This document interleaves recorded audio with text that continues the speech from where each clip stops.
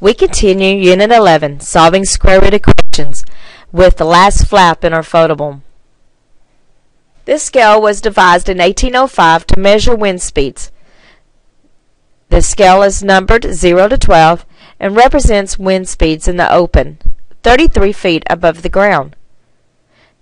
It can be modeled by the function b equals 1.9 times the square root of x plus 8 minus 5.4, where x is the speed of the wind in miles per hour. We need to know a, what is the wind speed for a scale of 9, and b, if the wind speed is given at 40 miles per hour, what is b? Let's look at a first.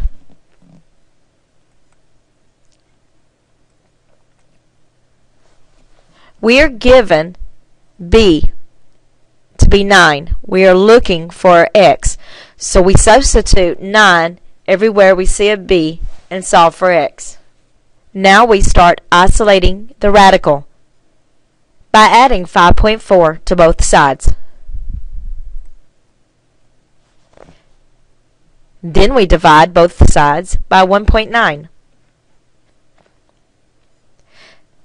This gives us 7 and 57 hundredths is equal to the square root of x plus 8.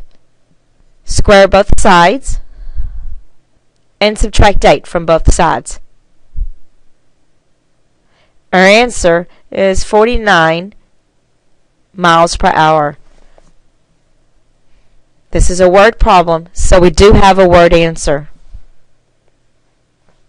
Let's look at B. We are given x to be 40 miles per hour. Substitute 40 in for x.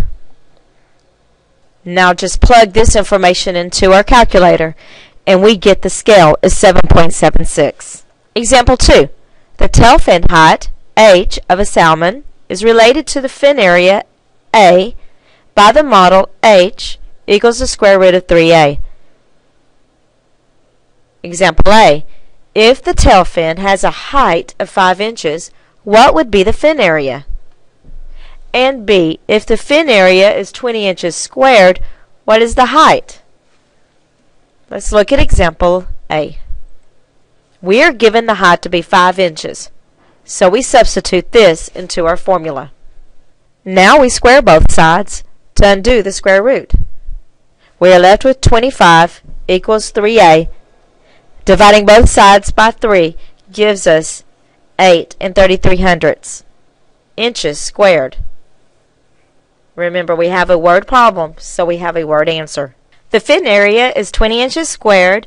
Substitute the fin area in for A, and we get H is equal to 7.74 inches.